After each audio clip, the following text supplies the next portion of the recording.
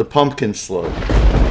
In the faraway republic of Squashlandia, there are few inhabitants and very little to do. The long rainy season has just begun for Canadian civil servant Stephen Macy.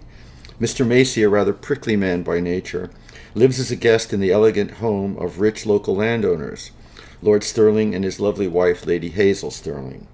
Another house guest living on the Stirling plantation is Dr. Robert, a friend of the family. I hate this rain, Mr. Macy announces, coming in from the downpour, taking his thoroughly soaked raincoat off on the carpet and handing it to the butler. The butler is dressed in a tuxedo, an odd formality for such a faraway place in the middle of nowhere, Macy thought to himself. You'll get used to it, my boy, Dr. Roberts said, tapping his oak and ivory pipe in a tray. The first few weeks are the hardest.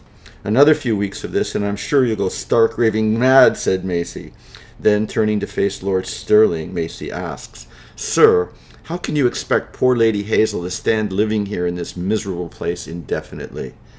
Lady Stirling stands it very well, Mr. Macy, said Lady Stirling, pausing her sewing.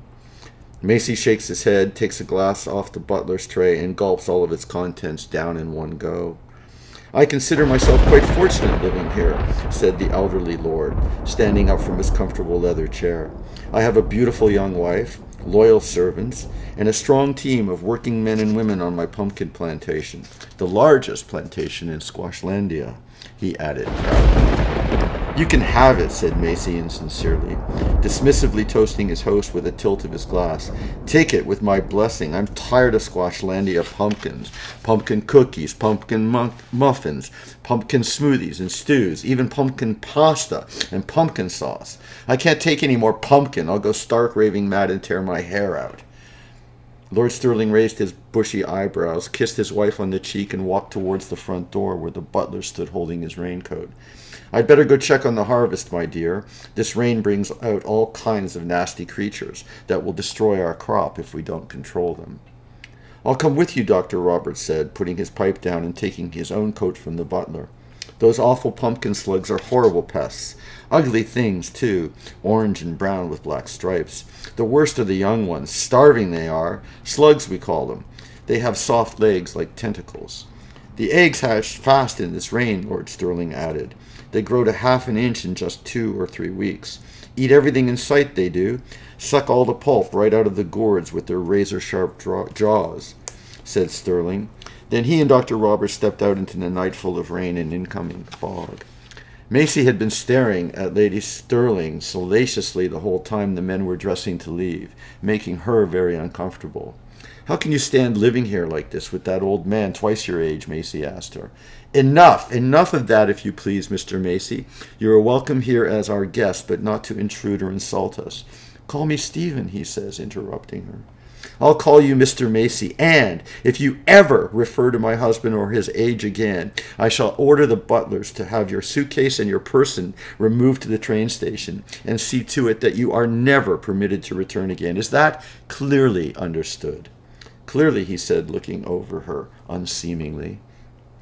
Take a cold bath, Mr. Macy, she shouted, throwing her sewing down on a chair, and dashed up the stairs to her private residence and locked the door behind her. Macy put his wet raincoat back on and stormed off into the rain, miserably dejected. He ended up in a local cafe where he ordered a drink and sat down in the corner alone. Seated at the bar, a local man in a ratty overcoat and sodden sailor's cap crossed the room and asked him if he might join him. Macy didn't move or say a word at first. The man sat down beside him. Like a lot of squash Squashlandiers who grew up eating nothing but pumpkins, the man had a strange orange glow. My name is Don, he said. What's yours, if you don't mind my asking? Stephen Macy. You live with the Stirlings on the plantation, right? That's right.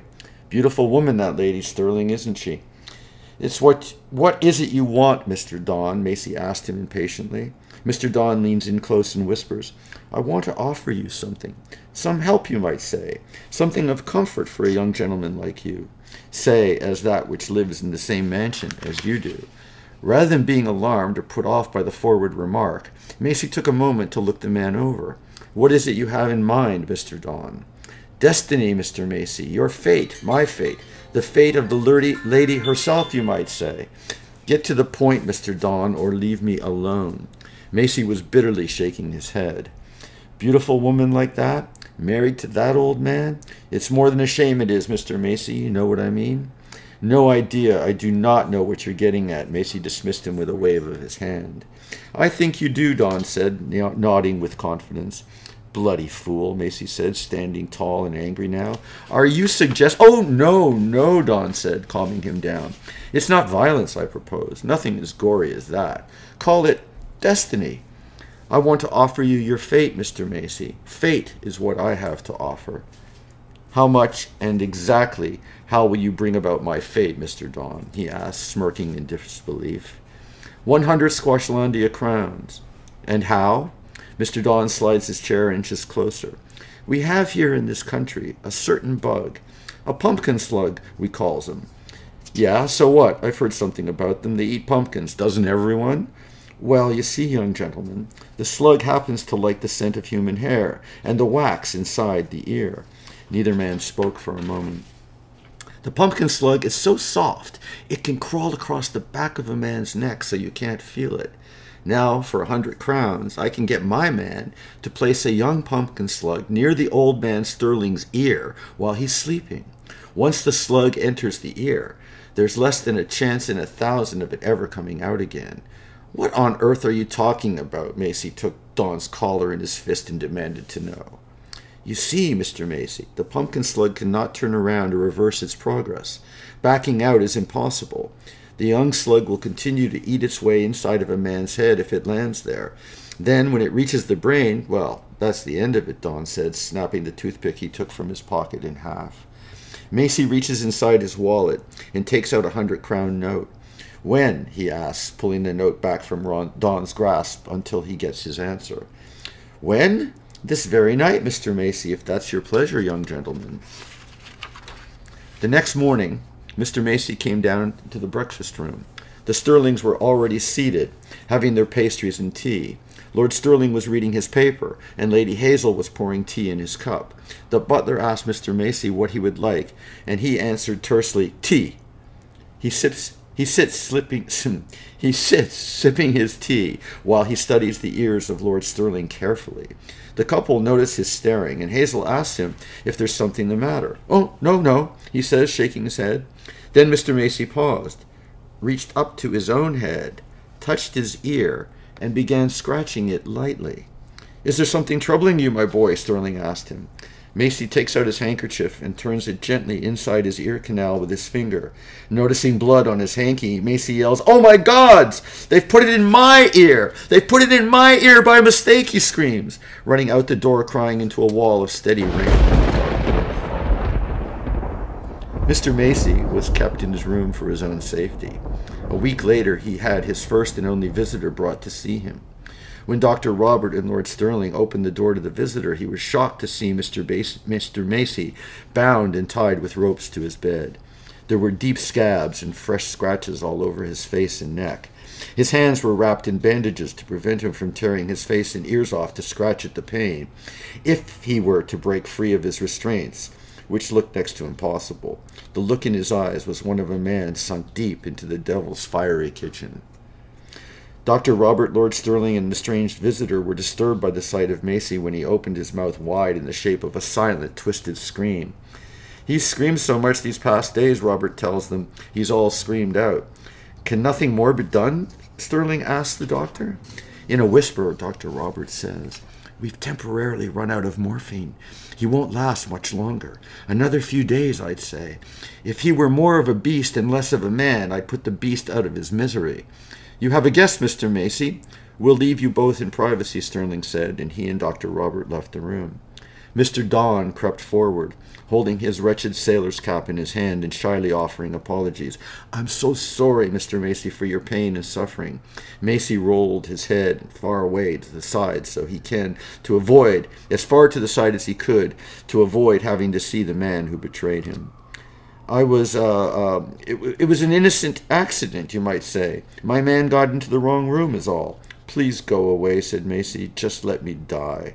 No fear of that, Mr. Macy. No fear of that, young gentleman. You will die. Won't, won't last much longer. Let me die or kill me, Macy weakly cries.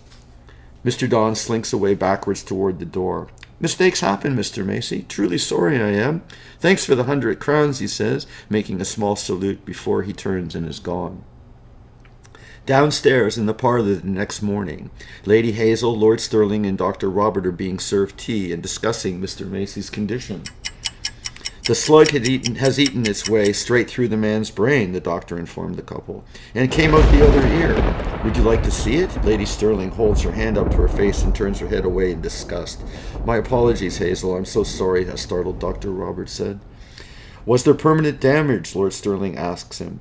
So far, it seems he's made a remarkable recovery. He's able to stand and speak freely. It's truly astonishing, the good doctor said. Then, suddenly, looking sullen, he added, As for more lasting or permanent damage, we won't know until, as I was saying before, before what, doctor? Please continue, said Mr. Macy, who suddenly appeared at the top of the stairs and slowly descended into the parlor. Tell them about what a miracle I am, Doctor. Please go on. I'd love to hear it myself. You are a miracle. Yes, indeed, Mr. Macy, the doctor said, shaking his head vigorously. A miracle undeserved for a despicable conspirator to, to murder as you are. Robert looked as though he was about to spit on the floor. No one, no one has suffered as I have, Doctor, Macy screams. Have any of you any idea what it's like to hear the constant biting, chewing echoes of monstrous agony devouring the flesh of my soul? Feeling suddenly faint, the, faint, the butler helps Macy to the chair, to a chair to sit down. Lady Sterling moves quickly toward Mr. Macy to confront him head on. You've plotted to murder my husband, Mr. Macy. Did you really believe for a moment that, as a grieving widow, I would ever consider engaging with the likes of you any further? Yes, out of love, he replied. Love? You haven't any idea what love means. Bitter and defeated, Macy asks no one in particular, What happens now? Have me arrested for attempted murder? No, Lord Stirling said.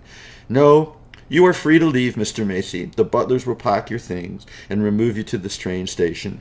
Your travel arrangements away from Squashlandia have all been prepared. Wait, free to go, Macy said. Why have what is it you haven't told me? Everyone else briefly glanced at each other, darting their eyes anywhere other than in the direction of Mr. Macy's face for the moment. Sit down, Mr. Macy, please, the doctor said. I examined the slug that passed through your brain. I killed it, squeezed it, in fact. Hearing this, Lady Stirling runs from the room, dashing up the stairs with her tear wet handkerchief in hand. It was a female pumpkin slug, Mr. Macy, the doctor said, watching the dawning awareness slowly come over Macy's expression. I don't understand, Macy said, slowly raising his hand to the side of his head. Then, after a prolonged pause of quiet, Dr. Robert continued. Everyone knows that female pumpkin slugs lay eggs, dozens of them, in fact. Macy's gut wrenching screams go unheard under the dark storm clouds, exploding with thunder and lightning. The end.